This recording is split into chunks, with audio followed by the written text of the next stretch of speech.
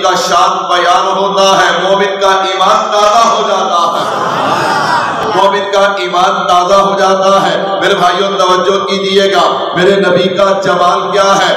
دو احادیث مبارکہ اور ایک آیت مبارکہ۔ اس طالب علم کا تخیل دیکھیے گا۔ میرے نبی کے جمال کو سنیے گا۔ میرے نبی کا جمال کیا ہے؟ پہلی حدیث مبارکہ، ان اللہ جمیل و یحب الجمال۔ کیا ترجمہ؟ اللہ خوبصورت ہے اور خوبصورتی کو کیا کرتے ہیں؟ پسند کرتے ہیں۔ دوسری حدیث مبارکہ۔ اللہ کے نبی نے فرمایا اعلیٰ حبیب اللہ۔ مجھے اللہ کا حبیب کہا جاتا ہے۔ اللہ خوبصورت ہے، خوبصورتی کو پسند کرتے ہیں۔ آپ اللہ کے حبیب ہیں۔ اب ذرا درمیان میں قرآن کھولیے نا۔ قرآن کہتا ہے، لقد خلقنا الانسان فی احسن تقویم۔ ہم نے کائنات کا ہر انسان جو ہے اسے خوبصورت پیدا کیا۔ کیوں خوبصورت پیدا کیا؟ اللہ خوبصورت ہے اور خوبصورتی کو پسند کرتے ہیں۔ مجھے کہنے دینا کہ جس رب نے آپ کو بھی خوبصورت پیدا کیا، مجھے بھی خوبصورت پیدا کیا۔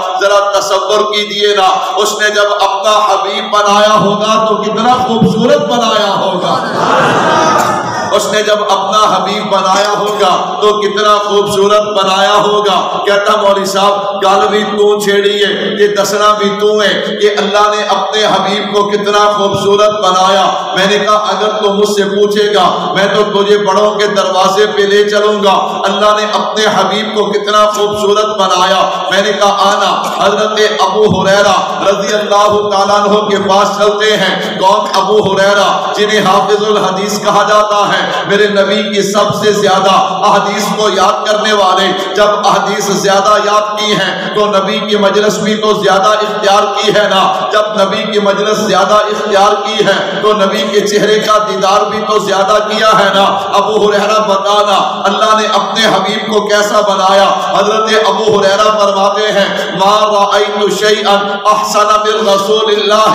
اور دنیا والوں میں نے اپنے محبوب سے بڑھ کے کائنات میں کسی چیز چیز کو حسین و جمیل نہیں دیکھا۔ اللہ اکبر، ابو حریرہ میرے سامعین کے چہروں پہ مسکراہٹ ہے۔ ذرا بات کو اور کھولیے نا۔ حضرت ابو حریرہ فرماتے ہیں کہ ان الشمس تجری فی وجہہ۔ اور دنیا والوں اگر تم مجھ سے پوچھتے ہو، نبی کا حسن و جمال کیا ہے؟ تو ہم جب نبی کے چہرے پہ نظر ڈالتے کہ ان الشمس تجری فی وجہہ تو یوں محسوس ہوتا کہ آسمانوں کا سورج میرے محبوب کے چہرے میں چلتا ہوا نظر آتا ہے نے نبی کو کیسا حسن و جمال عطا کیا ہے؟ میں نے کہا، دیکھنا، علامہ مناوی آ گئے۔ علامہ مناوی فرماتے، دنیا والوں اللہ اکبر، ہر مسلمان کے لیے یہ عقیدہ رکھنا ضروری ہے کہ جن اوصاف کے ساتھ اللہ نے میرے محبوب کو متصف کیا۔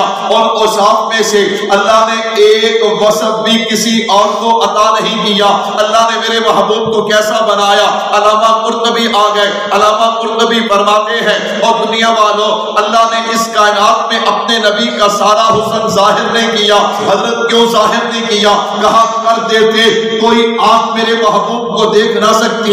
اللہ نے اپنے حبیب کو کیسا بنا رواحہ آ گئے۔ حضرت عبداللہ فرماتے ہیں، دنیا والوں اللہ اپنے نبی کو نبوت کی کوئی دلیل نہ بھی دیتے تو نبی کا چہرہ ہی دلیل کے لیے کافی تھا۔ اللہ نے اپنے حبیب کو کیسا بنایا؟ جبرائیل امین آ گئے جبریل کو بتانا اللہ نے اپنے حبیب کو کیسا بنایا؟ جبریل فرماتے ہیں، دنیا والوں، میں مشرق سے مغرب گیا، شمال سے جنوب گیا، آدم کا عیسیٰ، میں نے سب نبیوں کا دیدار کیا ہے۔ میرے محبوب کے بارے میں کیا کہتا ہے؟ جبریل فرماتے ہیں، فلم اجد رجلا افضل من محمد اور دنیا والوں، میں نے محمد مصطفیٰ صلی اللہ علیہ وسلم سے بڑھ کے کائنات میں کوئی حسین نہیں دیکھا۔ تو پھر مجھے کہنے دینا، یہ جلوہ حق، سبحان اللہ، یہ نور ہدایت کیا کہنا؟ یہ جلوہ حق سبحان اللہ یہ نور ہدایت کیا کہنا؟ جبریل بھی ان کے شہدہ ہے یہ شان نبوت کیا کہنا؟ سبحان اللہ تکبیر اللہ۔ مصطفیٰ۔ حسن مصطفیٰ۔ جمال مصطفیٰ۔ جمال مصطفیٰ۔ زندہ باد۔ جمال مصطفیٰ۔ زندہ باد جمال مصطفیٰ زندہ باد تکبیر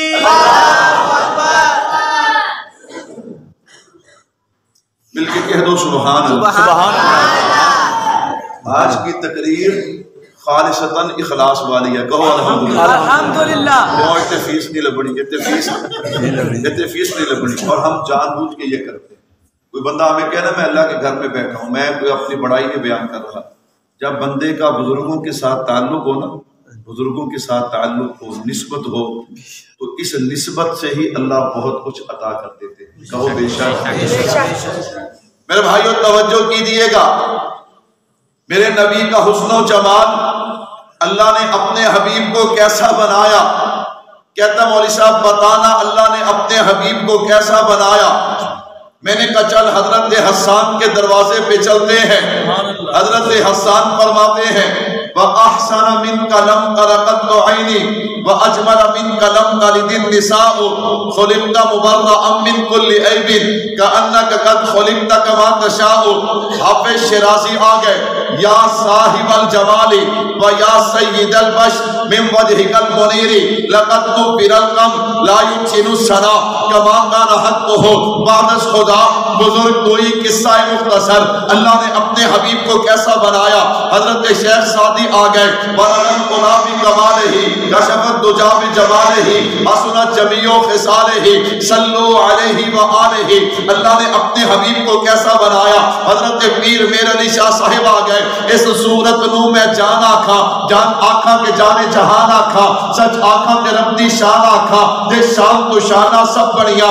سبحان اللہ، ما اجمل کا ما احسن کا ما اکمل کا کتے مہر علی کتے تیری سنا استاد عقی کتے جا لگیاں اللہ نے اپنے حبیب کو کیسا بنایا؟ کائنات حسن پھیلی تو لامحدود تھی، سمتی تو ایک تیرا نام بن کے رہ گئی۔ حسینہ جمیلہ دا منہ موڑ دیتا محمد بڑا رب قلم توڑ دیتا مصور نے تصویر انج دیے کھینچی، محمد بڑا رب قلم توڑ دیتی اللہ نے اپنے حبیب کو کیسا بنایا؟ حضرت سید نفیس الحسینی، شاہ صاحب رحمت اللہ علیہ، میں قربان جاؤ حضرت شاہ جی نے قلم اٹھایا اور کمال کر دیا۔ حضرت شاہ جی لکھتے ہیں اے رسول امی خاتم المرسلی تجھ سا کوئی نہیں تجھ سا سبحان اللہ اے رسول امی اے رسول امی کہنا آسان ہے کہنا آسان ہے علماء دیوبند جیسا علم پیش کرنا مشکل ہے، عمل پیش کرنا مشکل ہے، تقوی پیش کرنا مشکل ہے جرت اور استقامت پیش کرنا مشکل ہے۔ میرے نبی کی محبت پیش کرنا مشکل ہے۔ میں نے کہا دیکھنا دیوبندیوں کے پیر نے کیا لکھا اور کمال کر دیا۔ اے رسول امی خاتم المرسلی تجھ سا کوئی نہیں، تجھ سا کوئی نہیں۔ میں نے کہا، گیارہ میں تو حضرت شاہ جی کا فیض ہے۔ حضرت پیر جی عبدالحفیظ صاحب رحمت اللہ علیہ کے واسطے سے تو جو جو فیض مانتے ہو نا میرے ساتھ پڑھو عقیدہ نظریہ ہے۔ اے رسول امی خاتم المرسلی تجھ سا کوئی نہیں تجھ سا کوئی نہیں۔ ہے عقیدہ یہ اپنا بسد کو یقین تجھ سا کوئی نہیں تجھ سا سبحان اللہ۔ اللہ نے اپنے حبیب کو کیسا بنایا؟ سنو میرے بھائیوں ایمان تازہ ہوگا۔ ملتان اسٹیشن ہے۔ ایک ٹرین آ کے رکی ہے۔ اس میں ایک مسافر ہے جو بڑی جلدی میں ہے۔ جو کیا ہے؟ جلدی جلدی میں ہے۔ میں نے اس مسافر کی طرف دیکھا۔ وہ مسافر کون ہے؟ میں نے کہا جسے دیوبند کا سپود حضرت مولانا انور شاہ کشمیری کہا جاتا ہے۔ ٹرین رکی ہے حضرت بڑی جلدی میں ہے۔ میں نے کہا حضرت آپ بڑی جلدی میں ہیں خیر تو ہے۔ فرمایا میں نے بہاول پور جانا ہے۔ حضرت کیوں جانا ہے؟ کہا نبی کی ختم نبوت کی وکالت کرنے۔ پھر مجھے جملہ کہنے دے جو نبی کی ختم نبوت کا وکیل بن جائے اللہ دل بھی چمکا دیتے ہیں اللہ چہرہ بھی چمکا دیتے ہیں۔ سبحان اللہ سبحان اللہ۔ حضرت ملتان اسٹیشن پہ ٹرین رکی ہے۔ حضرت نے یوں باہر کھڑکی سے دیکھا ایک کلی نظر آیا پلیٹ فارم پہ کھڑا۔ اسے بلایا اشارہ کیا کلی آواز دی ہے نا۔ اس نے یوں پیچھے مڑ کے دیکھا۔ حضرت کشمیری کے چہرے پہ نظر پڑی ہے، وہیں پہ نظر ٹھہر جاتی ہے۔ حضرت فرماتے بھائی مزدوری کرنی ہے تو ٹائم تھوڑا ہے۔ میں نے ٹرین بدلنی ہے۔ میں نے بہاول پور کی ٹرین میں سوار ہونا ہے۔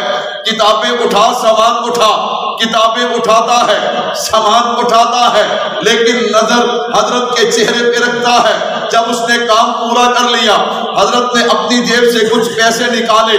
یہ تیری مزدوری ہے۔ کہتا مولانا اگر مزدوری دینی ہے تو محبوب کا کلمہ پڑھا دیجیے گا۔ اللہ اکبر کلمہ پڑھا دیا ٹرین چلنے لگی۔ حضرت نے فرمایا ملتان چلے جانا۔ مولانا خدا بخش مرحوم رحمت اللہ علیہ وہ تیری تربیت کر دیں گے۔ جب ٹرین چلی گئی یہ پلیٹ فارم پہ کھڑا ہے۔ باقی اس کے ساتھی کلی آئے سکھ آئے۔ آ کر کہنے لگے اور تجھے کیا ہوا؟ تو نے کلمہ کیوں پڑھا؟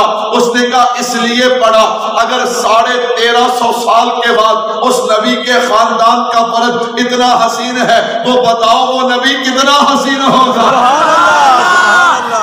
جب حسن تھا ان کا جلوہ نما انوار کا عالم کیا ہوگا؟ اگر ابھی بھی بات سمجھ نہیں آئی سبحان اللہ کہو میں ایک بات سبحان میرے محبوب کی عمر مبارک چھ سال ہے۔ کتنی سال ہے؟ میں نے حضرت اقدس، استاد العلماء، ولی کامل، یادگار اسلام، حضرت اقدس، حضرت مولانا ارشاد احمد رحمت اللہ علیہ۔ حضرت سے میں نے یہ واقعہ سنا تھا، ہمارے قریب ایک گاؤں میں تشریف لائے، وہاں میں بیان سننے گیا۔ تو زمانے طالب علمی میں حضرت سے میں نے یہ واقعہ سنا۔ اور الحمدللہ بہت سارے واقعات ہیں جو طیاب ہیں، حضرت کی زبان سے سنے ہیں، کہیں سے ملتے نہیں ہیں۔ خیر، فرمایا میرے محبوب کی عمر مبارک چھ سال۔ کتنی سال؟ چھ سال۔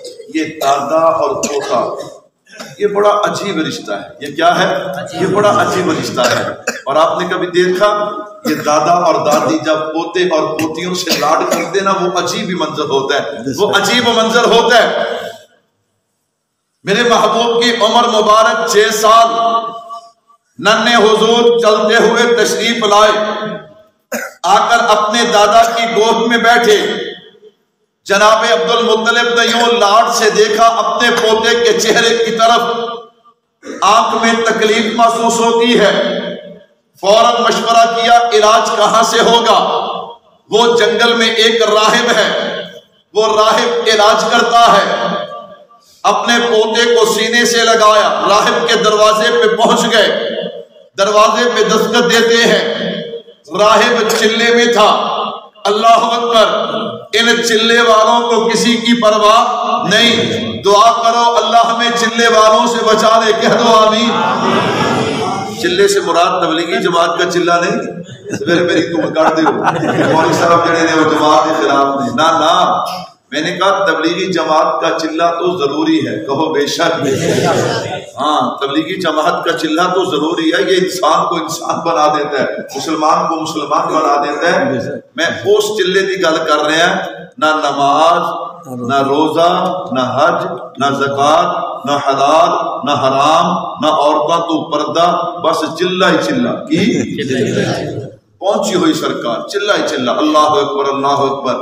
سنو میرے بھائیوں میں نے یہ بات کیوں کہی بچا لو اپنے آپ بچا لو ان چلے والوں سے اپنے آپ کو۔ اللہ اکبر۔ اور ان کو خراب ہم نے کیا کس نے کیا ہم نے کیا او جی پیر جی کم نہیں چلتا کم نہیں چلتا میں نے کہا فکر نہ کر آمی ذرا۔ میرے کو ایک تویز ہے۔ تو کروڑا پتی ہو جائے گا۔ کیا ہو جائے گا؟ آپ ہمیں دوڑ لائے۔ انہیں تویز لکھیا ہے۔ جان لگے بلا کی کہتے ہیں اج جاندہ ہو جائے سو مینو دے دی سو؟ بندے دی مت ماری ہے بھی کروڑا تویز تینوں دیتا تے سو تیرے کولو اللہ اکبر یہ نہ تمہاری جیب چھوڑیں گے نہ تمہاری عزت چھوڑیں گے تم روز اخبارات میں پڑھتے نہیں ہو ہاں میں تعویذات کا منکر نہیں تعویذ کی ضرورت پڑے دم کی ضرورت پڑے کسی اللہ والے کے پاس جائے تمہاری امام امام مسجد کا امام مسجد نہیں ہے اس کے سینے میں قرآن ہے اس سے بڑا پیر کون ہوگا اہل القرآن اہل اللہ میں نے کہا ہاں بھائی، جیسے ہمارے بزرگ شریعت اور سنت کے پابند ہیں، ایسے لوگوں کے پاس جاؤ، بے نمازی پیر نہیں ہو سکتا۔ جو قرآن نہیں پڑھتا، وہ پیر نہیں ہو سکتا۔ جس کے چہرے پہ داڑھی نہیں، وہ پیر نہیں ہو سکتا۔ عامل ہونا اور بات ہے۔ تویز دھاگا لکھنا اور بات ہے۔ میں نے کہا ہاں بھائی، اللہ کا ولی ہونا اور بات ہے۔ یہ اعزاز بھی اللہ نے علماء دیوبند کو دیا ہے۔ ہمارے بزرگ، ہمارے دوست احباب جو ہیں، الحمدللہ، میں یہ صرف قادس بن نعمت کے طور پہ کہتا ہوں۔ ہمارا مزاج ہے۔ حضرت اقدس، میرے استاد محترم، میرے پیر و مرشد، حضرت مولانا محمد الیاس محمد دامت برکات العالیہ، حضرت نے ہمارا مزاج بنایا۔ جو بات صحیح ہے، ہم اسے دو ٹوک کہہ دیتے ہیں۔ میں نے کہا، اس کی مثال میں دوں نا الحمدللہ، آپ کے اس گاؤں کے نوجوان ہیں، ہمارے دوست ہیں، ہمارے بڑے ہیں، بھائی محمد یاسین صاحب، آپ کے اسی گاؤں کے ہیں، الحمدللہ، ہمارے علاقے میں اللہ کا شکر ہے، وہ دین کا کام کر رہے ہیں اور بڑے اچھے طریقے سے کر رہے ہیں۔ لوگ ان کے پاس روحانی علاج کے لیے بھی آتے ہیں۔ میں نے کہا، قرآن کا قاری بھی ہے، عالم دین بھی ہے، کہہ دو سبحان اللہ۔ قرآن کا مزہ تو آتا ہے نا، ہم سے کوئی بندہ پوچھے، ہم جی روحانی طور پہ پریشان ہیں، ہمیں تویز دھاگا چاہیے۔ ہم کہتے، جاؤ نا، الحمدللہ، ہم ایسے بندے کے پاس نہیں بھیج رہے کہ نعوذ باللہ جو قرآن نہیں پڑھتا، ایسے بندے کے پاس نہیں بھیج رہے، جو جاہل ہے، شفا میرے اللہ نے دینی ہے۔ ہم ایسے بندے کے پاس بھیج رہے ہیں، جو بزرگوں سے بیعت بھی ہے، شریعت کا پابند بھی ہے، قرآن کا قاری بھی ہے، عالم دین بھی ہے۔ اللہ اکبر، رمضان آئے گا مسلح پہ قرآن سناتا ہوا نظر آئے گا جمعے کا دن آئے گا ممبر پہ خطبہ دیتا ہوا نظر آئے گا۔ اللہ اکبر، ایسے لوگوں کے پاس آؤ، میں متنفر نہیں کرتا۔ ایسے لوگوں کے پاس آؤ، میں تو ان کی بات کر رہا ہوں۔ نہ نماز، نہ روزہ۔ خیر، میں بہت دور لے گیا، لیکن ضروری ہے میرے بھائیوں، ضروری ہے۔ بچ جاؤ، بچا لو، مال بھی بچا لو، عزتیں بھی بچا لو۔ تو میں عرض کر رہا تھا، وہ چلے والا چلے پہ بیٹھا ہے۔ آپ نے دروازے پہ دستخط دی ہے۔ تھوڑا سا وقت گزرا۔ آپ نے پھر دروازے پہ دستخط دی ہے۔ اب تو اندر سے دوڑتا ہے نا، جوتا بھی نہیں پہنا۔ ایسے ہی آیا آ کے دروازہ کھولتا ہے۔ سامنے جناب عبد المطلب ہے۔ دیکھ کر کہتا ہے، سردار، آنا ہی تھا تو بتا کے تو آتے نا۔ کیا ہوا؟ کہا، یہ پوچھئے، کیا نہیں ہوا؟ اگر تھوڑا سا وقت اور گزر جاتا میں بھی برباد ہو جاتا میرا گھر بھی برباد ہو جاتا۔ سردار کیسے آنا ہوا؟ یوں اشارہ کیا میرا پوتا ہے یتیم ہے۔ جب اشارہ کیا نا اس نے یوں نظر اٹھا کے دیکھا۔ جب حسن تھا ان کا جلوہ نما۔ انوار کا عالم کیا ہوگا؟ ہر کوئی فدا ہے بن دیکھے دیدار کا عالم کیا ہوگا؟ سبحان اللہ! جب اس نے دیکھا نا یوں۔ کہتا سردار ذرا مہمان خانے میں بیٹھ جائیے۔ مجھے تیاری کر لینی تھی۔ مجھے کیا کرنے دی تھی سردار بیٹھ گئے۔ تیاری کیا کرتے ہیں؟ غسل کرتے ہیں۔ نیا جوڑا پہنتے ہیں خوشبو لگاتے ہیں۔ اپنی کتاب کو سینے سے لگا کے نا میرے محبوب کے سامنے آ کے بیٹھ جاتا ہے کتاب کھولتا ہے کبھی کتاب کا صفحہ پڑھتا ہے کبھی مصطفیٰ کا چہرہ پڑھتا ہے۔ سبحان اللہ سبحان اللہ۔ کبھی کتاب پڑھتا ہے کبھی مصطفیٰ کا چہرہ پڑھتا ہے کبھی کتاب پڑھتا ہے کبھی مصطفیٰ کا چہرہ پڑھتا ہے۔ اللہ اکبر اللہ اکبر۔ مجھے وہ بچہ بھی نظر آ رہا ہے جو معصوم تھا میرے محبوب کی مجلس میں آیا کرتا تھا حضور اس بچے سے پیار کیا کرتے تھے۔ میرے بھائیو سنیے گا ذرا۔ چلو بات ذہن میں آئی تو بات سناتا چلا جاؤ۔ اللہ کے نبی کی مجلس میں وہ بچہ نہ آیا۔ اللہ اکبر محبوب نے پوچھا، وہ بچہ آتا تھا، اب کیوں نہیں آتا؟ اللہ کے نبی بیمار ہے اور ہو سکتا ہے اسی بیماری میں اللہ کے پاس پہنچ جائے، اتنا بیمار ہے۔ فرمایا چلو تیمارداری کرتے ہیں۔ اللہ کے نبی یہودی کا بچہ ہے۔ فرمایا پھر کیا ہوا؟ یہودی کا بچہ ہے تو میں ضرور جاؤں گا اس کی تیمارداری کروں گا۔ وہ ہمارے پاس آیا کرتا تھا آج بیمار ہے تو میں اس کے پاس جاؤں گا۔ سبحان اللہ۔ اللہ اکبر میرے محبوب کیا نا؟ اس کا والد وہاں پہ بیٹھے قربان جاؤں۔ اور آنکھ کھول کے بیٹھا ہے پڑھ رہا ہے۔ میرے محبوب نے بچے کی تیمارداری کی۔ اور اس کے باپ کی طرف دیکھ کر کہا اس کتاب میں میرا ذکر ہے۔ اس نے فوراً کتاب کو بند کیا۔ کہتا جی نانا اس میں آپ کا ذکر نہیں۔ بچہ کہتا ہے حضور میرا والد جھوٹ بولتا ہے۔ میرا والد کیا کرتا ہے؟ اللہ کے نبی اس میں آپ کا بھی ذکر ہے آپ کے یاروں کا بھی ذکر ہے۔ سبحان اللہ سبحان اللہ۔ اس نے راہب نے یوں اپنی کتاب کھولی۔ کبھی میرے محبوب کا چہرہ کبھی کتاب کبھی چہرہ کبھی کتاب۔ تسلی کر لی نا کہتا سردار کیسے آنا تو میں تجھے بتایا میرا پوتا ہے یتیم ہے آنکھوں میں تکلیف ہے علاج کے لیے آیا ہوں۔ کہا سردار کن کے علاج کی باتیں کرتے ہو؟ ان کے علاج کی باتیں کرتے ہو جن کو اللہ نے ساری دنیا کے لیے شفا بنا کے بھیجا۔ سبحان اللہ سبحان اللہ۔ سردار کہنے لگے راہب تینو خیر تے ہے۔ میں جدوں دا آیا تو عجیب عجیب گل کر رہے ہیں۔ اے بھی تو ہوں نمی گل کر دیتی ہے۔ میں سردار اگر میری بات پہ یقین نہیں آتا انہی کی انگلی لیجیے انہی کا لعاب نکالیے ان کی آنکھوں پہ لگائیے پھر دیکھیے کیا ہوتا ہے۔ سردار نے لعاب نکالا۔ میرے محبوب کی ندی انگلی کے ساتھ۔ آنکھوں میں لگانے کی دیر تھی شفا کے آنے میں دیر نہیں سبحان اللہ۔ جب حسن تھا ان کا جلوہ نما۔ انوار کا عالم کیا ہوگا؟ ہر کوئی فدا ہے بن دیکھے۔ دیدار کا عالم کیا ہوگا؟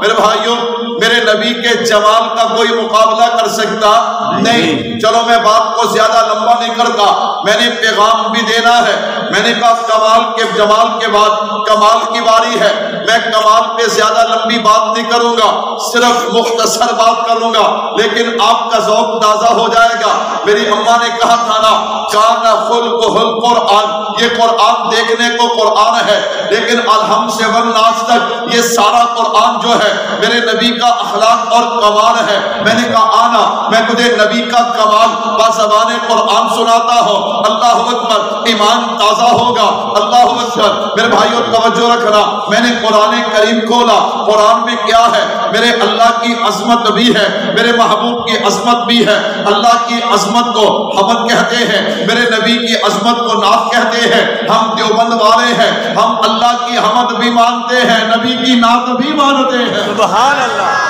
ہم اللہ کی حمد بھی مانتے ہیں، ہم نبی کی نعت بھی مانتے ہیں۔ اب ذرا سنیے گا، میں نے قرآن کریم کھولا۔ الحمدللہ رب العالمین کہو گے، یہ حمد ہے۔ وما ارسلنا کا اللہ رحمت للعالمین کہو گے، یہ میرے نبی کی ہے، ربکم الذی خلقکم کہو گے یہ حمد ہے حریص علیکم کہو گے یہ میرے نبی کی نعت ہے، غفور الرحیم کہو گے یہ حمد ہے، رؤوف الرحیم کہو گے یہ میرے نبی کی نعت ہے بإذن ربہم کہو گے یہ حمد ہے، لا تحزن، ان اللہ معنا کہو گے یہ میرے نبی کی نعت ہے، وہو رب العرش العظیم کہو گے یہ حمد ہے، وَإِنَّكَ لَعَلَىٰ خُلُقٍ عظیم کہو گے یہ نبی کی نعت ہے، رب عظیم کہو گے یہ حمد ہے رسول کریم کہو گے یہ نعت ہے اللہ اکبر کہو گے یہ حمد ہے اللہ کا حبیب کہو گے یہ میرے نبی کی نعت ہے قادر مطلق کہو گے یہ حمد ہے نبیوں کا امام کہو گے یہ نعت ہے قل اعوذ برب الفلق کہو گے یہ حمد ہے اللہ اکبر وما کان اللہ لیعذبہم وانت فیہم کہو گے یہ نبی کی نعت ہے نعم المولا کہو گے یہ حمد ہے والضحا کہو گے یہ نبی کی نعت ہے سبحان ربی الاعلی کہو گے یہ میرے املا کی حمد ہے واللیل اذا سجا کہو گے یہ میرے نبی کی نعت ہے تبارک الذی بیادہ الملک کہو گے یہ حمد ہے، انا اعطیناک الکوثر کہو گے یہ نبی کی نعت ہے، الرحمن علم القرآن، خلق الانسان کہو گے یہ حمد ہے، یا ایوہ المزمل، یا ایوہ المتصر یاسین توحا کہو گے یہ میرے نبی کی نعت ہے، وما خلقت الجن والانس الا لیعبدون کہو گے یہ حمد ہے، لقد کان لکم فی رسول اللہ اسوۃ حسنہ کہو گے یہ میرے نبی کی نعت ہے، ونحن اقرب الیہ من حبل الورید کہو گے یہ حمد ہے۔ ثم دنا فتدلى۔ فکان قاب قوسین او ادنا کہو گے یہ میرے نبی کی نعت ہے۔ عرش کا حکمران کہو گے یہ حمد ہے۔ عرش کا مہمان کہو گے یہ میرے نبی کی نعت ہے۔ مالک یوم الدین کہو گے یہ حمد ہے۔ صادق اور امین کہو گے یہ میرے نبی کی نعت ہے۔ سمیع بصیر کہو گے یہ حمد ہے۔ سراج منیر کہو گے یہ نبی کی نعت ہے۔ قل هو اللہ احد کہو گے یہ حمد ہے، ما کان محمد ابا احد من رجالکم ولکن رسول اللہ و خاتم النبیین کہو گے، یہ میرے نبی کی نعت ہے، لا الہ الا اللہ کہو گے، یہ حمد ہے، محمد الرسول اللہ کہو گے، یہ نبی کی نعت ہے۔ تبھی تو شاعر کہتا ہے کہ سر سے لے کر پاؤں تک تنویر ہی تنویر ہے۔ سر سے لے کر پاؤں تک تنویر ہی تنویر ہے۔ جیسے منہ سے بولتا قرآن وہ تقریر ہے، حسن مصطفیٰ کو دیکھ کر سوچتی ہے دنیا وہ مصور کیسا ہوگا؟ جس کی یہ تصویر ہے۔ سبحان اللہ! تکبیر! میرے نبی کے جمال کا کوئی مقابلہ کر سکتا؟ نہیں۔ میرے نبی کے کمال کا کوئی مقابلہ کر سکتا؟ نہیں۔ میرے نبی کے احسان کا کوئی مقابلہ کر سکتا؟ نہیں۔ محبت ہے کیا؟ سنو میرے بھائیوں محبت نعرے کا نام نہیں ہے۔ محبت دعوے کا نام نہیں ہے۔ محبت کیا ہے؟ محبت عمل کا نام ہے۔ کس کا نام ہے؟ المحبت حالت لا يعبر عنها مقالۃ حضرت خواجہ یحییٰ معاذ راضی رحمت اللہ علیہ فرماتے محبت دعویٰ نہیں چاہتی محبت نعرہ نہیں چاہتی محبت عمل چاہتی ہے۔ محبت کیا چاہتی ہے؟ عمل۔ ایک بزرگ کہنے لگے محبت کی مثال بلب کی ہے۔ کیا مطلب؟ دور بلب روشن ہونا اس میں شیشہ بھی ہے اس میں لوہا بھی ہے اس میں تارے بھی ہیں۔ اس کا شیشہ بھی نظر نہیں آتا اس کی تاریں بھی نظر نہیں آتی اس کا لوہا بھی نظر نہیں آتا صرف روشنی نظر آتی ہے۔ کیا نظر آتی ہے؟ جب بندے کو حضور سے محبت ہو جائے نا تو اپنا آپ مٹ جاتا ہے۔ انسان کے وجود پہ میرے محبوب کی سنتیں مہکتی ہوئی نظر آتی ہیں۔ محبت کیا ہے؟ محبت نعرہ نہیں چاہتی محبت دعویٰ بھی نہیں چاہتی۔ محبت عمل چاہتی ہے۔ سنو میرے بھائیوں ایک لاکھ بندہ کھڑا ہو۔ ان کے درمیان حضور کا ایک غلام جائے۔ اس کا چلنا بیٹھنا بولنا کھانا پینا سونا جاگنا اس انداز میں ہو۔ اس بندے کو کہنا نہ پڑے۔ وہ ایک لاکھ بندہ پکار اٹھے کہ اس آنے والے کو مصطفیٰ کا غلام کہا جاتا ہے۔ سبحان اللہ میرے بھائیوں توجہ کیجیے گا محبت کیا ہے؟ محبت دعوے کا نام نہیں ہے۔ محبت نعرے کا نام نہیں ہے۔ محبت عمل کا نام ہے۔ اللہ اکبر، میں کسی پہ فتویٰ نہیں لگاتا، میں آپ میں سے سب سے زیادہ گنہگار ہوں۔ میں کس پہ فتویٰ لگاؤں؟ لیکن اتنی بات ضرور کہتا ہوں، جو نماز نہیں پڑھتا، وہ میں یہ نہیں کہتا کہ اسے حضور سے محبت نہیں ہے۔ لیکن محبت میں کمزور ہے۔ وہ کون سی محبت ہے میرے نبی کی جو بندے کو مسجد میں کھینچ کے نہ لائے؟ جو بندہ قرآن کی تلاوت نہیں کرتا، محبت میں کمزور ہے، روزہ نہیں رکھتا محبت میں کمزور ہے، حج زکات عشر واجب ہے، دیتا نہیں، محبت میں کمزور ہے۔ نبی کی سنتوں سے پیار نہیں کرتا، اللہ اکبر، محبت میں کمزور ہے۔ کہیں یہ نہ ہو کہ صرف دعویٰ ہی دعویٰ رہ جائے، دعویٰ ہی دعویٰ رہ جائے۔ اور قیامت میں اللہ کے نبی فرمائے، اللہ اکبر تو دعوے تو بڑے کرتا تھا، نعرے تو بڑے لگاتا تھا، لیکن عمل کی باری آتی، تو بھاگ جاتا تھا۔ آؤ میرے بھائیوں محبت کے لیے شرط ہے، من احب سنتی فقط احبانی سنت شرط ہے، نبی کی پیروی، نبی کی اتباع شرط ہے۔ بات زیادہ لمبی نہ ہو جائے۔ سنیے گا، محبت دعویٰ نہیں چاہتی، محبت نعرہ نہیں چاہتی، محبت عمل چاہتی ہے۔ اب میری گفتگو پیغام کی طرف آ رہی ہے۔ میں جو پیغام دینا چاہتا چاہتا ہوں۔ میں نے آپ کو بیدار کیا، آپ کا ذوق بنا، ایمان تازہ ہوا۔ اب پیغام سنیے گا۔ محبت دعویٰ نہیں چاہتی، محبت نعرہ نہیں چاہتی، محبت عمل چاہتی ہے۔ وہ ہجرت کی رات دیکھنا سیدنا صدیق اکبر ہے، میرے محبوب کے ساتھ ہے۔ کوئی نعرہ نہیں لگایا، یہ نہیں کہا غلامی رسول میں موت بھی قبول ہے۔ کوئی نعرہ نہیں، کوئی دعویٰ نہیں۔ صدیق نے عمل ایسا پیش کیا ہے نا، میں قربان جاؤں۔ جو اظہار صدیق اکبر کو ملا امت میں کسی اور کو نہیں ملا۔ صدیق اکبر کیا کرتے ہیں؟ کبھی دوڑ کر میرے محبوب کے آگے، کبھی دوڑ کر پیچھے، کبھی دوڑ کر دائیں، کبھی دوڑ کر بائیں۔ میرے محبوب نے دیکھا بکر کیا کرتا ہے؟ کبھی دوڑ کر آگے، کبھی پیچھے، کبھی دائیں، کبھی بائیں۔ اللہ کے نبی جب میرے ذہن میں بات آتی ہے، کوئی آگے سے آپ پہ حملہ نہ کر دے، میں دوڑ کر آگے چلا جاتا ہوں، پھر خیال آتا ہے، کوئی پیچھے سے حملہ نہ کر دے، میں پیچھے آ جاتا ہوں، پھر دائیں آ جاتا ہوں، پھر بائیں آ جاتا ہوں۔ میرے نبی کا جواب سنیے گا، اس سے بڑی صنعت کوئی نہیں ہے، اس سے بڑا اعزاز کوئی نہیں۔ کہا ابو بکر، اس کا مطلب یہ ہے، آپ یہ چاہتے ہیں کہ حملہ جدھر سے بھی ہو نبی بچ جائے صدیق قربان ہو جائے۔ جہاں ہم کہتے ہیں غلامی رسول میں موت بھی قبول ہے۔ وہاں حضور کہہ رہے ہیں ابو بکر تو چاہتا یہ ہے حملہ جدھر سے بھی ہو حملہ جدھر سے بھی ہو۔ اللہ اکبر۔ اور آگے بڑھیے۔ میرے بھائیوں کچھ کیفیات ہیں۔ احساس دلانا چاہتا ہوں۔ اللہ کرے میں کامیاب ہو جاؤں۔ محبت دعوے کا نام نہیں ہے، محبت نعرے کا نام نہیں ہے۔ سنیے گا، ایک قافلہ مکہ مکرمہ سے نکلا ہے حج کر کے۔ رخ مدینہ منورہ کی طرف ہے۔ یہ قافلہ چلتے جا رہا ہے۔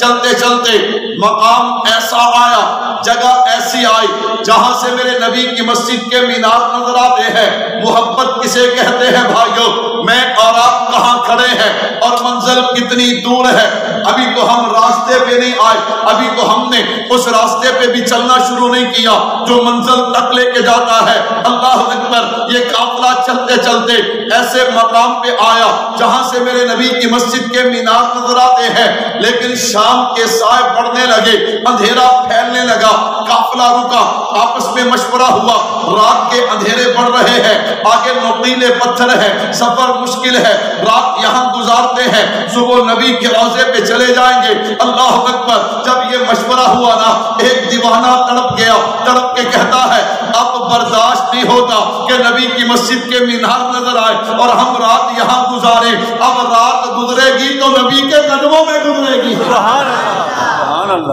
یہاں نہیں ٹھہرتے سفر جاری رہے گا سفر جاری رہے گا۔ پورا قافلہ اس دیوانے کے سامنے مجبور ہو گیا بے بس ہو گیا۔ اللہ اکبر چلو چلتے ہیں۔ جب چلنے لگے نا اس دیوانے نے جوتے اتار لیے۔ سبحان اللہ۔ کیا کر لیے؟ جوتے اتارے لوگوں نے پوچھا بھی حضرت اب کیا ہوا؟ کہا تمہیں نہیں پتا یہ مدینہ۔ یہ کیا ہے؟ مدینہ ہے۔ کیا ہے مدینہ؟ مدینہ نور ہی نور ہے۔ مدینہ سرور ہی سرور ہے۔ مدینہ قرار ہی قرار ہے۔ مدینہ بہار ہی بہار ہے مدینہ انوار ہی انوار ہے۔ اللہ کی قسم مدینہ سارے کا سارا پیار ہی پیار ہے مدینہ سارے کا سارا پیار ہی پیار ہے مدینہ کیا ہے میں نے کہا سن ہے شان مدینے میں ہے ایمان مدینے میں ہے سلطان مدینے میں ہے ایکان مدینے میں ہے فیضان مدینے میں ہے راحت مدینے میں ہے رحمت مدینے میں ہے برکت مدینے میں ہے شوکت مدینے میں۔ نانا ہے مقصود کائنات ذات مدینے میں۔ نانا اللہ کی قسم ہے محبوب رب رحمان بھی مدینے میں۔ سبحان اللہ۔ سبحان اللہ۔ شاعر کہتا ہے میرے آقا کے مدینے کی ہر چیز مثالی ہے۔ سبحان اللہ۔ جوتا میرے بزرگوں نے اتارا۔ کیوں اتارا؟ یہ سمجھانا میرے ذمے ہے۔ اور الحمدللہ ہم گلی گلی سمجھا رہے ہیں۔ کہو الحمدللہ۔ ابھی ربیع الاول آیا نا؟ ربیع الاول آیا۔ ہر خطیب ہر نعت خان کی کوشش ہوتی ہے کہ کوئی نہ کوئی نیا بیان تیار کیا جائے۔ میں بھی اس کشمکش میں تھا۔ مجھے مرکز سرگودا سے فون آیا کہ حضرت استاد جی مولانا محمد الیاس محمد صاحب کا حکم ہے کہ اسے کہو کہ وہ تیاری کرے یعنی میں نے کہا جی کس عنوان پہ؟ کہا جی محبت رسول اور غلامہ دیوبند۔ تیاری کرے اور ایک گھنٹے کا بیان ریکارڈ کر کے مجھے بھیجے۔ میں نے کہا جی ٹھیک ہے۔ میں نے کہا یہ بس بزرگوں کی طرف سے اشارہ ہوتا ہے۔ میں پورے ربی لوگوں سے لوگوں نے دسیا ہے کہ ساڑھے بزرگ اللہ دے نبی نہ محبت قیدا کتا کر دے سن۔ ابھی حضرت بتا رہے تھے نا، میں ساتھیوں سے کہا کرتا ہوں انشاءاللہ اس کا اجر قبر میں بھی ملے گا آخرت میں بھی ملے گا۔ میں نے کہا دنیا میں نقد مل گیا۔ دنیا میں کیا ہو گیا؟ کہتے جی دنیا میں نقد کیسے ملا؟ غالباً گیارہ ربیع الاول تھا رات عشاء کے بعد کا پروگرام تھا میرا پہلا بیان تھا۔ حضرت محمد شاہ صاحب یہ ہمارے مسکین پور شریف جو ہے نا وہاں جو خانقاہ ہے علماء دیوبند کے سارے سلسلے وہاں پہ جا کے جمع ہوتے حضرت وہاں کے گدی نشین کہہ لیں آپ وہاں کے خادم کہہ لیں آپ حضرت محمد شاہ صاحب دامت برکات ملالیہ۔ حضرت کا بیان آخری تھا رات بارہ ساڑھے بارہ ایک بجے۔ حضرت فرمانے لگے میں پہلا بیان کروں گا وہ آخری بیان کرے گا۔ میزبان پریشان بھی مولوی روشنی جانتے رہے مولوی۔ جی میں بڑیاں رستیاں نے نا مولوی میں رستے تھے۔ نعت خان تھے مولوی۔ اللہ اکبر۔ ہم نہیں رستے کہو الحمدللہ۔ اللہ کا شکر ہے۔ کیوں؟ ہم نے اس اس اس اسٹیج کو ہم نے اپنے اکابرین کی امانت سمجھ کے اپنایا ہے اور انشاءاللہ جہاں تک ہو سکے گا اس کی عزت اور وقار کا خیال رکھیں گے۔ تو انشاءاللہ۔ حضرت کا بیان تھا جیسے بزرگ بیٹھے میں یوں سامنے جا کے بیٹھ گیا۔ بیان ختم کیا نا ساتھ ایک بزرگ اور بیٹھے تھے ملتان سے تشریف لائے تھے۔ تو کہنے لگے یار میرا دل کرتا ہے میں اس نوجوان کو پگڑی باندھوں۔ میں نے کہا جی اس سے بڑا ہمارے لیے اعزاز کیا ہے؟ میرے بھائیوں یہ بزرگوں کی تائید ہوتی ہے۔ یہ تائید ہمارے پاس اور ہے بھی کچھ نہیں بس اکابرین کی دعائیں ہیں اور انشاءاللہ انہی دعاؤں سے دنیا بھی بن جائے گی آخرت بھی بن جائے گی۔ کہو انشاءاللہ۔ میرے بھائیوں سنیے گا محبت سنیے گا۔ جوتا کیوں اتارا؟ میرے آقا کے مدینے کی۔ آپ تھک تو نہیں گئے ماشاء میرے آقا کے مدینے اب شروع ہونے اللہ اکبر۔ میرے آقا کے مدینے کی۔ ہر چیز مثالی ہے۔ ذرے بھی نرالے ہیں مٹی بھی مثالی ہے۔ اگر یقین نہیں آتا چلو میں ایک منظر اور دے دیتا ہوں۔ لاہور ہے۔ لاہور میں ایک ہستی ہے۔ وہ ہستی کہ جس کی قبر سے اللہ نے جنت کی خوشبو کو مہکایا جسے دنیا امام الاولیاء حضرت مولانا احمد علی لاہوری رحمت اللہ علیہ کے نام سے پکارتی ہے۔ این جوانی میں حضرت لاہوری پہ فارج کا حملہ ہوا۔ حکیم محمد اجمل نے آپ کا علاج کیا۔ رحمت اللہ علیہ کچھ عرص لیکن وہ جاتے جاتے جو ہے فالج آپ کی بینائی پہ اثر کر گیا۔ بینائی کمزور ہو گئی چشمہ لگ گیا۔ کچھ عرصے کے بعد حضرت نے وہ چشمہ اتار دیا۔ سنو میرے بھائیوں، ایمان تازہ ہوگا۔ چشمہ اتارا نا مرید پوچھنے لگے شگرد پوچھنے لگے، حضرت آپ نے چشمہ کیوں اتار دیا؟ فرمایا، اب ضرورت نہیں ہے۔ حضرت، ضرورت کیوں نہیں؟ فرمایا، میں مدینے گیا تھا، وہاں ایک آغا۔ آغا کنہیں کہتے ہیں؟ یہ جو میرے محبوب کے روزہ مبارک کے اندر کی صفائی کرتے ہیں، ہر بندہ نہیں کر سکتا۔ یہ حضرت بلال رضی اللہ تعالیٰ کے خاندان کے خاص لوگ ہیں، جن کو یہ اعزاز حاصل ہے، انہیں آغا کہا جاتا ہے۔ کہا، ایک آغا جو تھے نا، وہ میرے بھائی بنے ہوئے، میرے دوست بنے ہوئے۔ ایک دن وہ نبی کے روزے کے اندر گئے، انہوں نے ہرے رنگ کی جو چادر ہے نا، اسے جھاڑا اس سے تھوڑی سی مٹی نکلتی ہے۔ انہوں نے اسے محفوظ کر لیا۔ میرا بھائی دوست یار احمد علی آئے گا، یہ میں اسے دوں گا۔ حضرت فرماتے ہیں، جب میں مدینے گیا نا، اس نے کہا، احمد علی، تیرے لیے گفٹ رکھا ہے، تیرے لیے تحفہ رکھا ہے۔ جب اس نے مجھے دیا نا، میں نے کہا، تیرا تحفہ تحفہ تو بڑا قیمتی ہے، اس جیسا تحفہ کوئی نہیں ہو سکتا۔ لیکن اس کا تو احترام بڑا ہے۔ میں اس کا احترام کیسے کروں گا؟ با علماء دیوبند، با اکابرین علماء دیوبند حضرت فرماتے ہیں، پھر میں نے فیصلہ کیا، وہ جو میری سرما دانی ہے نا، جہاں سے سرما میں اپنی آنکھوں میں ڈالتا ہوں، اس کو اس میں ڈال لیتا ہوں، تاکہ یہ سرمے کے ساتھ میری آنکھوں میں چلا جائے اور اس کے احترام کا حق ادا ہو جائے۔ فرمایا، میں نے اسے اپنے سرمے دانی میں ڈالا اور میرے محبوب نے فرمایا، اللہ نے مدینے کی مٹی میں بھی شفا کو رکھا ہے۔ فرمایا، جیسے جیسے وہ آنکھ میں جاتی گئی مٹی، اللہ میری پیرائی کو ٹھیک کرتے گئے۔ تبھی تو میں نے کہا، میرے آقا کے مدینے کی ہر چیز مثالی ہے، ذرے بھی نرالے ہیں، مٹی بھی نرالی ہے سبحان اللہ میرے آقا کے مدینے کی ہر چیز مثالی ہے۔ مفتی محمد یونس رحمت اللہ علیہ۔ بعض حضرات نے مولانا ظفر احمد عثمانی رحمت اللہ علیہ کے حوالے سے بھی لکھا ہے۔ لیکن میں نے جو پڑھا، حضرت مفتی محمد یونس رحمت اللہ علیہ۔ فیصلہ باد سے ہمارے بزرگ تھے۔ مکہ مکرمہ سے فارغ ہو کے حج کی جواب کے ساتھ مدینہ میں چلے گئے۔ سنو بھائیوں مدینہ کسے کہتے ہیں؟ جب وہاں پہ گئے نا حضرت فرماتے ہیں، ایک دن میری خدمت پہ ڈیوٹی، میں نے علماء کی جماعت کو کھانا کھلایا دسترخوان صاف کیا، کچھ ہڈیاں بچی ان کو گرانے کے لیے مسجد نبوی شریف میں جو جگہ بنی ہے، وہاں پہ گیا۔ میں نے جیسے ہی ہڈیاں گرائی نا، مدینے کا ایک بچہ آیا، اس نے ان ہڈیوں کو اٹھایا۔ اور چوسنا شروع کر دیا۔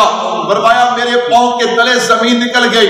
میں رو پڑا۔ کیوں؟ میرے آقا کے مدینے کی ہر چیز مثالی ہے۔ اللہ اکبر، بیٹا کیوں چوستا ہے؟ اس نے کہا، چچا، بھوکا ہو، بھوک لگی ہے، گھر سے کھانا نہیں ملتا، یتیم ہو، کثیر بہن بھائی ہے، ماں کے پاس اتنے اسباب نہیں ہے کیسے گزارا کرتے ہو؟ جو نبی کی مسجد کا چکر لگاتے ہیں، کہیں سے روٹی کے ٹکڑے، کہیں سے فروٹ کے ٹکڑے کہیں سے ہڈیاں مل جاتی ہیں، یوں گزارا کرتے ہیں۔ اللہ اکبر، میں نے کہا بیٹا ادھر آنا۔ میں نے دسترخوان بچایا اس بیٹے کو کھانا کھلایا۔ میں نے وعدہ لیا، بیٹا، جتنے دن میں یہاں پہ ہوں، صبح، دوپہر، شام، رات، جب تجھے بھوک لگے گا تو نے آنا ہے۔ میں تیری خدمت کروں گا، میں تجھے کھانا کھلاؤں گا۔ وہ بچہ آتا رہا، حضرت کھانا کھلاتے رہے۔ فرمایا، جب واپسی کا وقت قریب آ گیا، میں نے کہا بیٹا، دو تین دنوں میں ہماری واپسی ہے۔ میرا دل کرتا ہے، تو میرے ساتھ پاکستان چل، وہاں اچھی رہائش ہے۔ اللہ نے مجھے گاڑی بھی دی ہے، میرے پاس بینک بیلنس بھی ہے۔ اپنے بیٹوں سے زیادہ تجھ سے محبت کروں گا۔ کیوں؟ وہ میرے بیٹے ہیں۔ تو نبی کے شہر کا بیٹا ہے۔ اس نے کہا، چچا، چلا تو جاؤ، لیکن ماں سے پوچھنا پڑے گا۔ پوچھ لے، ماں قسمت کی باری اجازت نہ دیتی تو کیا کرتی؟ اس نے کہا، بیٹا، اگر کوئی لے جاتا ہے تو چلا جا۔ فرمایا، وہ بچہ تیاری کر کے آیا۔ آخری دن ہے۔ میں نے کہا، بیٹا، چل نبی کے روزے پہ سلام کر کے آئے، پھر شاید زندگی وفا کرے نہ کرے، ہم نے نبی کے روزے پہ درود و سلام پیش کیا، واپس ہٹے، چند قدم اٹھائے، اس بچے نے میرا ہاتھ پکڑ لیا، کہنے کا چچا جان، مجھے جہاں پہ لے جا رہا ہے، یہ تو بتا دیا، وہاں رہائش اچھی ہے، گاڑی اچھی ہے، کھانا پینا اچھا ہے، بینک بیلنس ہے، یہ تو نہیں بتایا، وہاں نبی کا گنبد خضرا بھی ہوگا کہ نہیں ہوگا؟ حضرت فرماتے ہیں، میں روح پڑا، میں نے کہا، بیٹا، وہاں دنیا کی ہر نعمت میسر ہو سکتی ہے، لیکن یہ نعمت اگر اللہ نے دی ہے تو صرف مدینہ کو دی ہے۔ اس بچے نے ہاتھ چھڑایا، دوڑ لگائی، کہتا چچا، بھوک برداشت ہے، پیاس برداشت ہے، سردی برداشت ہے، گرمی برداشت ہے، لیکن نبی کے روزے کی جدائی برداشت نہیں ہے۔ تو پھر مجھے کہنے دینا، خدا کی رحمتوں کا، برکتوں کا جو خزینہ ہے، اسی کا نام طیبہ ہے، وہی شہر مدینہ ہے۔ پاؤں میں نوکیلے پتھر۔ حضرت نے جب جوتا اتارا علماء نے لکھا ہے دیکھتے دیکھتے باقی لوگوں نے بھی جوتا اتارنا شروع کیا۔ حضرت گنگوہی فرمانے لگے او بھائی تمہیں کیا ہوا؟ ہے انہوں نے کہا جی انہوں نے اتارا ہے۔ کہا وہ تو نبی کے عشق میں فنا ہے تو پتھر لگے تو تواڈے کو برداشت۔ ہے وہی گل کوئی بھی قدم کوئی تی قدم کوئی چالی قدم حد کوئی پجا قدم چلیا۔ جدوں پہنچ لگے نا پتھر تے سارے جوتے پہنے اللہ اکبر۔ یہ دیوانہ جا رہا ہے۔ مجھے بتاؤ میرے بھائیوں، جو لوگ عمرے پہ گئے ہو، وہ تو جانتے ہیں۔ جو حج عمرے پہ گئے، انہیں تو معلوم ہے۔ اور جو نہیں گئے، اللہ۔ آپ حضرات کو لے جائے اور آپ کی برکت سے اللہ ہمیں بھی بار بار لے جائے۔ کہہ دو آمین۔ بندہ سلام کرنے کے لیے جب باب السلام سے داخل ہوتا ہے، اللہ کی قسم یوں محسوس ہوتا ہے۔ بندہ جنت میں آ گیا اور وہ ہے بھی جنت. ما بین بیتی و منبری روضت من ریاض الجنہ. ہم دیوبند والوں کا عقیدہ ہے. اللہ کے نبی اپنے روضہ مبارک میں زندہ ہیں. یہاں سے درود پڑے فرشتے پہنچا دیتے ہیں. وہاں جا کر پڑھے. اللہ کے نبی سنتے بھی ہیں، جواب بھی دیتے ہیں. بڑی عجیب کیفیات ہوتی ہے. ہر انسان تصور کرتا ہے. ابھی تھوڑی دیر کے بعد میں جہانوں کے سردار کے سامنے کھڑا ہو جاؤں گا، درود و سلام پڑھوں گا۔ میرے نبی سنیں گے بھی، جواب بھی دیں گے۔ بڑی عجیب کیفیات ہوتی ہے جسم پہ کب کبھی تاری ہوتی ہے، زبان پہ کب کبھی تاری ہوتی ہے۔ آنکھوں میں آنسوؤں کا سیلاب ہوتا ہے۔ میں قربان جاؤں۔ اللہ اکبر، ہمارے بزرگوں نے یہاں پہ بڑی عجیب بات لکھی ہے۔ نوجوانوں، پوری توجہ سے سننا۔ ایک اللہ والے، بعض حضرت مجدد کا فرماتے ہیں، بعض فرماتے ہیں اور اللہ والے تھے، انہوں نے وہاں پہ مراقبہ کیا کیا دیکھا؟ فرمایا، وہ بندہ جس کے چہرے پہ سنت رسول، ایک مٹھی داڑھی پوری ہے، اگر وہ درود و سلام پڑھنے کے لیے آئے نا، میرے محبوب سنتے بھی ہیں، جواب بھی دیتے ہیں اور چہرہ انور بھی اس کی طرف رکھتے ہیں۔ وہ بندہ جس کے چہرے پہ سنت کے مطابق داڑھی نہیں ہے، اگر وہ درود و سلام پڑھنے آئے نا، میرے محبوب سنتے بھی ہیں، جواب بھی دیتے ہیں، لیکن اس سے اپنا چہرہ پھیر لیتے ہیں۔ کیوں؟ جس چہرے پہ داڑھی نہیں، وہ چہرہ میرے محبوب کو پسند نہیں۔ یہ تو میرے نبی کی احادیث سے بھی ثابت ہے۔ میرے بھائیوں، کیا فائدہ؟ وہ چہرہ سارے جہان کو پسند ہو اور میرے محبوب کو پسند نہ ہو۔ محبت رسول سننے کا یہ پیغام ہے۔ ہے اپنے چہروں کو سنت رسول سے سجا لو خیر، حضرت مولانا محمد قاسم نانوتوی سب کہہ دو، رحمت اللہ علیہ۔ حضرت، یہ وہ ہستی ہیں جنہوں نے میرے نبی کے شہر کے ادب میں جوتا اتارا۔ اب میرے نبی کے روزے پہ کھڑے ہیں۔ کہہ دو، سبحان اللہ۔ درود و سلام شروع کیا نا۔ جب درود و سلام شروع کیا، چہرے کے انوارات بدلنا شروع ہوئے۔ چہرے کے کیا ہوئے؟ انوارات بدلنا شروع ہوئے۔ کوئی میرے جیسا دیکھ رہا تھا۔ اس نے وہیں پہ پوچھ لیا حضرت آج تو چہرہ بڑا چمک رہا ہے آج تو چہرہ بڑا روشن ہے سنیے گا۔ حضرت نانوتوی نے وہیں پہ کہا میرے آقا کا مجھ پر اتنا کرم تھا کہ بھر دیا دامن پھیلانے سے پہلے یہ اتنے کرم کا عجب سلسلہ ہے نشہ رنگ لایا پلانے سے پہلے۔ سبحان اللہ،۔ چاہتا ہوں دنیا جہاں کے نشے چھوڑ دو سب غلط اور جھوٹے ہیں۔ میرے نبی کی محبت کا نشہ سچا ہے اس نشے کو کر لو اللہ دنیا بھی بنا دیں گے اللہ قبر اور آخرت بھی بنا دیں گے۔ اللہ عمل کی توفیق عطا فرمائے۔ میرے بھائیوں میں ایک بات کہتا چاہوں۔ آج کل لوگ کہتے ہیں اللہ اکبر مدارس میں نے کہا اللہ کا شکر ہے مدارس پوری دنیا میں دین کا پرچم بھی بلند کیے ہوئے ہیں اور اپنے ملک کا پرچم بھی بلند کیے ہوئے ہیں۔ کہہ دو الحمدللہ۔ ہمارا ملک بڑی بڑی یونیورسٹیاں، بڑے بڑے کالج لیکن دنیا کی پانچ سو جو ٹاپ کی یونیورسٹیاں، کتنی؟ ہونا چاپڑی ایک بھی نہیں۔ ہونا چاپڑی یہ ہمارا معیار ہے۔ سارا دن مولویاں دے بیٹھ کے تبصرے چاڑ دیو نا۔ اللہ اکبر، یہ معیار ہے، یہ معیار ہے اور میں کیا کرتا ہوں؟ یہ محب وطنی کا جو نشہ ہے نا تمہیں یہ تم اکیلے بیٹھ کے گفتگو کرتے ہو۔ کبھی ہماری آنکھوں میں آنکھیں ڈال کے گفتگو کرو، ہم تمہیں بتائیں۔ تم محب وطن ہو کہ ہم محب وطن۔ ہیں اللہ اکبر، میں نے کہا، ڈاکٹر، آپ کسی ڈاکٹر کے پاس جائیں، آپ چیک کر لیں۔ ڈاکٹر کے باہر بورڈ لگا ہوگا، اس کی تختی اور پھٹی لگی ہوگی۔ اس پہ لکھا ہوگا کہ اس نے کہاں کہاں سے پڑھا ہے۔ سب سے پہلے امریکہ کا نام ہوگا اتوں ڈگری لئیے۔ پھر برطانیہ کا نام ہوئے گا اتوں ڈگری لئیے۔ کسی ہور ملک چ لئیے وہ نام ہوئے گا۔ تے تھلے نکا جا پاکستان کا نام ہوئے گا۔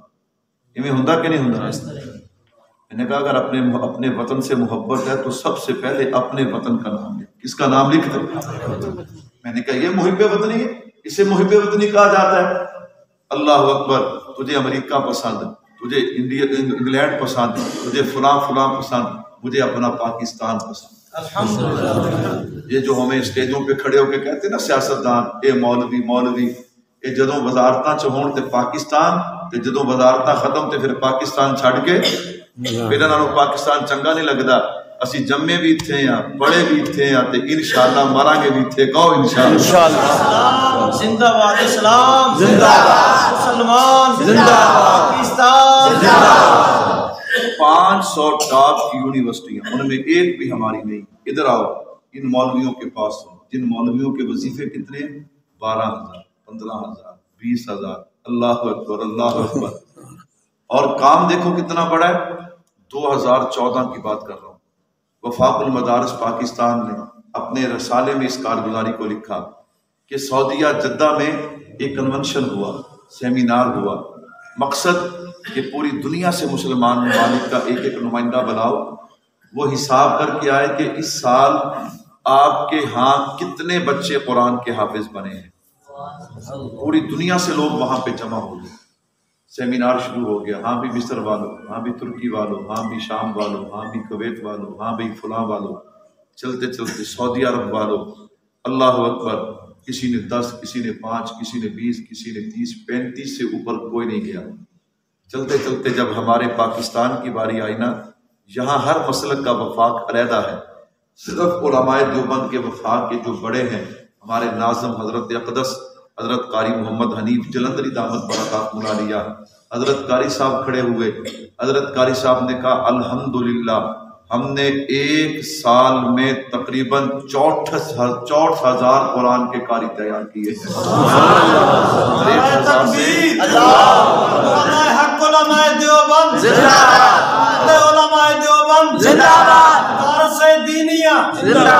چونسٹھ ہزار قرآن کے قاری۔ اچھا یہ وہ ہیں جنہوں نے حفظ کیا، پھر گردان کی، پھر وفاق کو داخلہ بھیجا، امتحان دیا، وہاں سے سند لی۔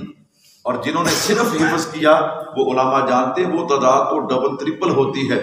وہ تعداد کو لاکھوں میں ہے۔ جو حفظ کرتے ہیں، پھر گردان کرتے ہیں، پھر وفاق کا امتحان دیتے ہیں۔ اور الحمدللہ اب وہ تعداد ستر ہزار سے بھی زیادہ ہو چکی ہے۔ کتنی؟ ستر ہزار سے۔ اس دفعہ جو وفاق کا امتحان پچھلے سال ہوا اب تو دوبارہ ہونے والے پچھلے سال جو کارگزاری آئی ستر ہزار سے زیادہ ہو چکے ہیں۔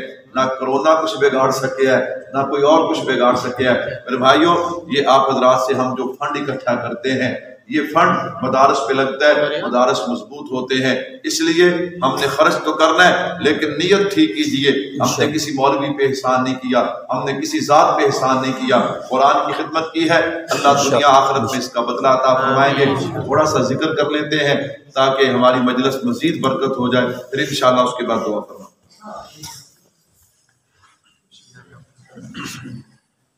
لا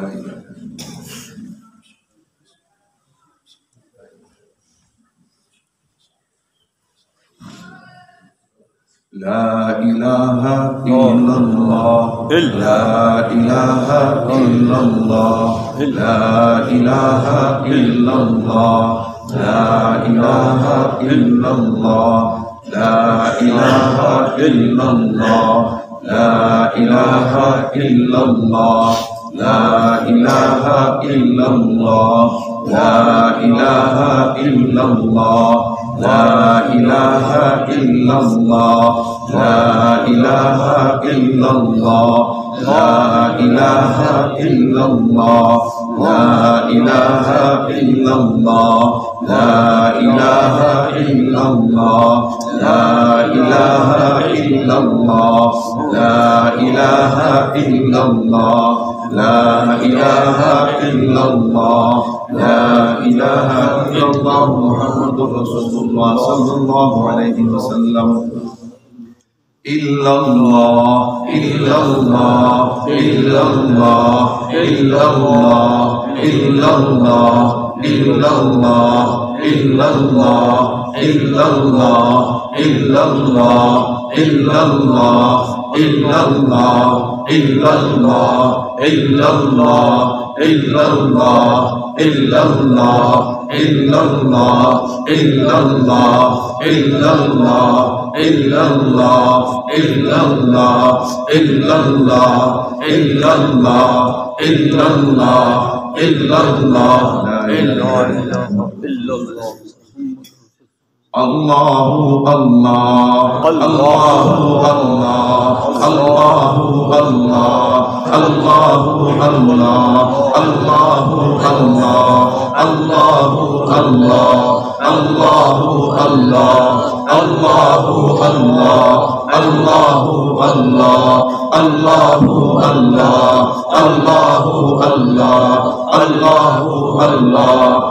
الله الله الله الله الله الله الله الله الله الله الله الله الله الله الله الله لا إله إلا